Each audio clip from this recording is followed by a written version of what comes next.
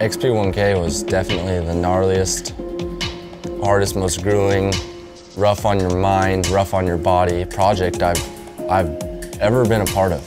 It's just so different and so unique and I was glad to be a part of it and be able to sit here now and, and just enjoy it and, and look back at the pictures and, and video and say, we created this. We created this.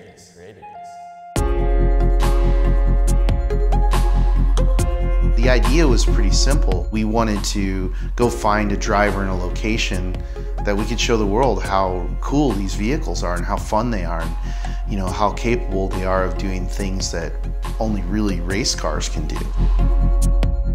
So for me as UTV Underground and Mad Media began discussing the ideas of doing a bigger piece, the first guy crossing my mind was RJ. And obviously with the relationship growing with Polaris, it was really the perfect combination. Here we had arguably one of the most talented up and coming drivers in the sport of off-road who was also the face of Polaris and the UTV racing industry. So one of the first things we did is we went out and scouted Kaiser Eagle Mountain and right away we saw the potential for shooting a UTV in that environment. I mean, it was just sized perfectly. There were natural obstacles, there was the potential to enhance and create our own obstacles, all kinds of stuff that we knew we could build a course through and around.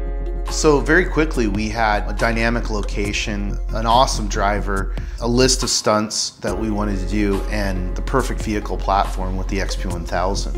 When you're working with Mad Media, you're working with the best and they want what's gonna be the best, you know? And when we first went out and just walked the site and checked it out, it was like, some stuff was like, there's no way I'm gonna be able to really do that, but I'll try. And you know, there's some things you look at and you're like, dude, this is so sketchy. You know, I know what a car does on the racetrack, but when you take all these variables that, you know, are unknown to me, it was just, you know, it was just, all right, well, take what I know and go for it. When I looked at the like trick list for the first time, I was like, I don't know about this. It's some of the stuff I, I didn't know. I'd never drove down a huge mountain before that's gravelly and, and while it was all new to me, I just had to say, okay, well, let's try it. So we get up to the top and RJ and I are looking down and all of a sudden we're both like, dude, this is pretty gnarly, you know? this is crazy. And, you know, I think I contributed to him second guessing a little bit and, you know, I'm doubting it and I'm worried for his safety. And it's one of those moments where it's like, dude, we just got to go for it. The helicopter's up, the film crew's here. Like, this is stunt number one. He was confident, but, you know, we're asking him to do things that nobody's ever done in a UTV, let alone cars. We're not doing this with safety nets or, you know, cables or, you know, special effects. This is all real. I mean, he really did all that stuff and if he came up short, the consequences could be really, really bad. And we have to give a lot of credit to RJ for getting in the car and executing everything that we dreamt up, that we asked him to do.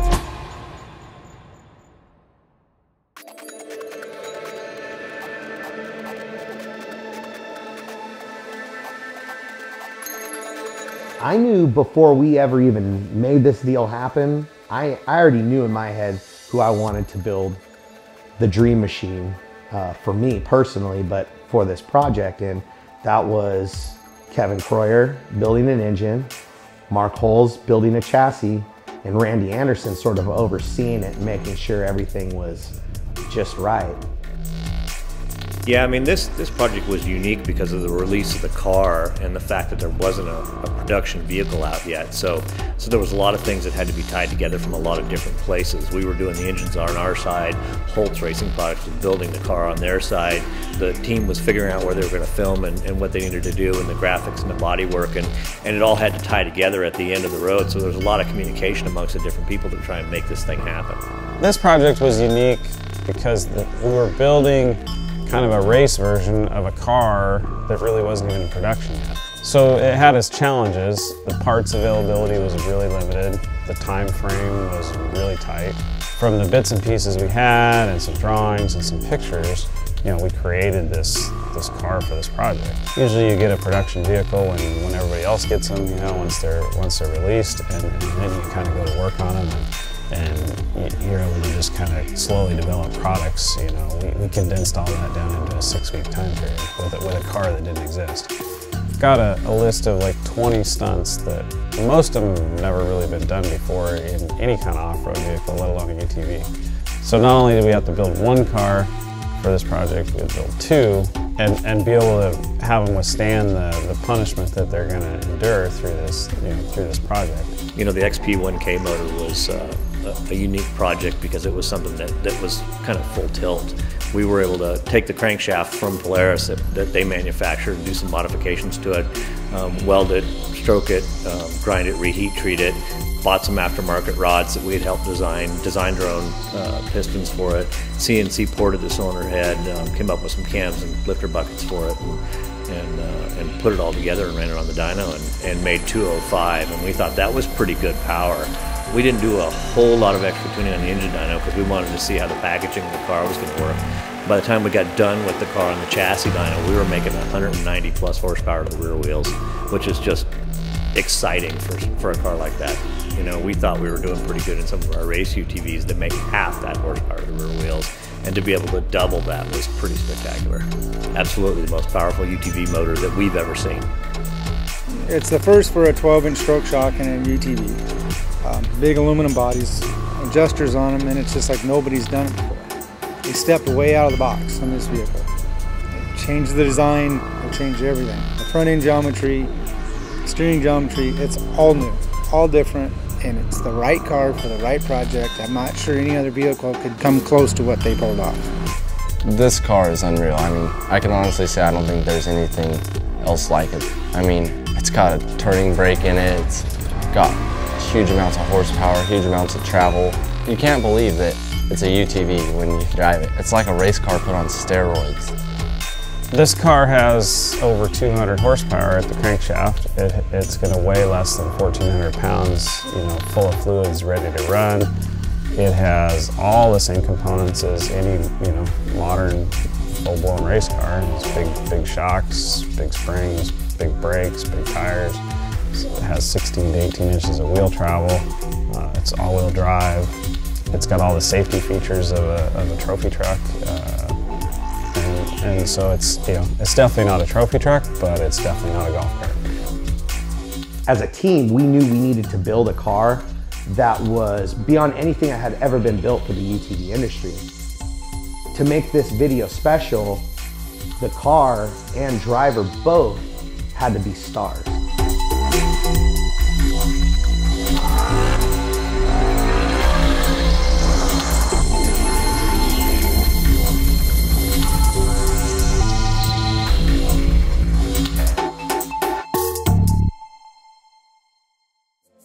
The idea you have going into a project like this and what actually happens is totally different. I had a feeling it was going to be like that. You know, I show up and there's helicopters, there's, you know, 40 people on set and they're all here with the same goal to make, you know, the, the best video ever. And, and they're, you know, just as much part of this video as, me. You know, I was just the one that was being chased around. We had helicopters and RC helicopters, chase cars. We had all kinds of cool stuff, you name it, it was there. And it was cool to be able to just see all that and experience it. We put a very high level of expectation on ourselves and our crew because we're enthusiasts. You know, there are just some things that you can't fake, and your audience knows that. We had a production crew of about 40 people, and we worked from about 5 o'clock in the morning until 9, 10 o'clock at night every night for about eight days and we used every available tool that we could find to try to capture the precision driving that RJ was doing out there. We used a full-size helicopter, we used RC helicopter, we filmed car to car with chase cam, we had dollies, jibs, everything you can think of. And really we just picked the best tools for the best stunts because the goal was to showcase how remarkable the stunts were that RJ was doing in every single sequence. I knew Mad Media was the best in the industry for motorsports, you know, viral content and media and whatnot. But this project really for me was like, dude, these guys, this is why you paid to have Mad Media working with you because they don't leave any stone unturned, you know. Matt and Josh, they push the right amount to make things right, to make things cool. Um, the guys behind the cameras, they know what's up, you know. I mean, everyone from Ryan and Rich and Eddie to the hired guns, uh, Milan and Dogger, you know, these guys are pros and they're the best at what they do. There's definitely the what if factor in this video, you know, there's, there's consequences and when you want to do something great, I guess you have to overcome that kind of stuff, you know? It's hard to put into perspective some of the sketchy stuff that did go down because unless you're there unless you're in the seat jumping over this huge mine shaft in the ground that was 60 feet down, that's a long ways to fall and it's going to do some damage, you know? So there's just all kinds of stuff like that. Casing jumps, flying off saucers, is the fact that it could happen just puts that little bit of fear in you.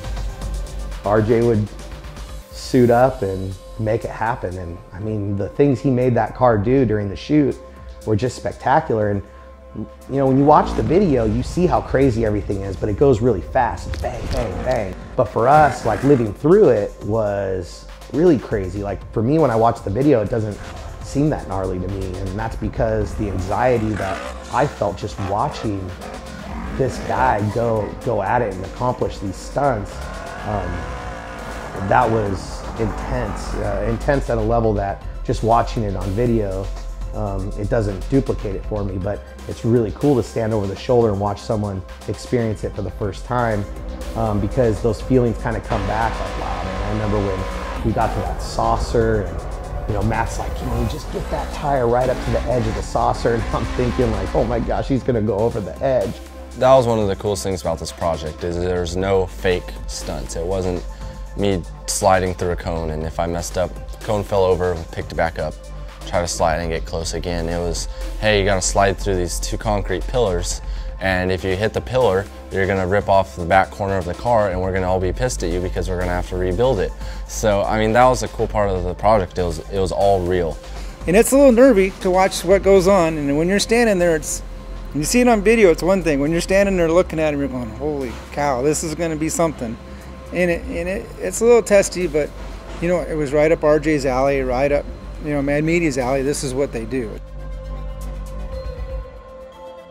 There's a line where you gotta push it to its limits, you know, otherwise someone else is gonna try to outdo you, you know, and I think that's what kind of we did on this project. We've outdone a lot of things that have ever been seen in the UTV world, so it's just awesome to be able to take something, show the world what its potential is, and just have fun doing it and do all these crazy things. We wanted to create a brand and not just, you know, the name of a video so that we could tie it into multiple mediums and keep it going. XP1K was designed to be a campaign. It wasn't just going to be a single video clip. The campaign consisted of a teaser, a trailer, the main XP1K clip, a GoPro edit, and a remix edit. And that was because we had so much footage that we wanted to share every single thing that happened out there with everybody that was into the project.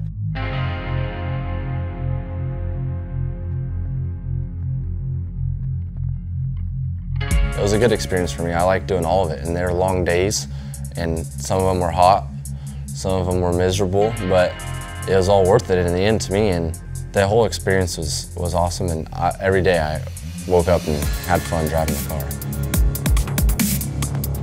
This project could not have been executed without the overwhelming support that we got from all of our sponsors and all of our partners involved. Polaris delivered us a platform that was perfect for building on and creating two supercars. Falken Tire guys were amazing yeah, throughout this whole project and helping us with filming and making sure we have the right tires and you know being on set and assisting as mechanics. I mean those guys went above and beyond. I, we couldn't have completed the project if it wasn't for Falken. We got great safety support from Mastercraft and Impact and of course our friends at South Point took care of us as well.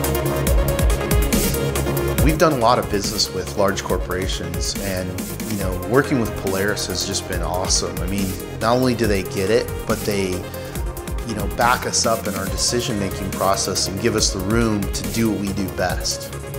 Yeah, the question is what's next, right? We've done this cool project and now I have an idea of what to expect and it's like, when can I do something like this again? When can I try jump farther?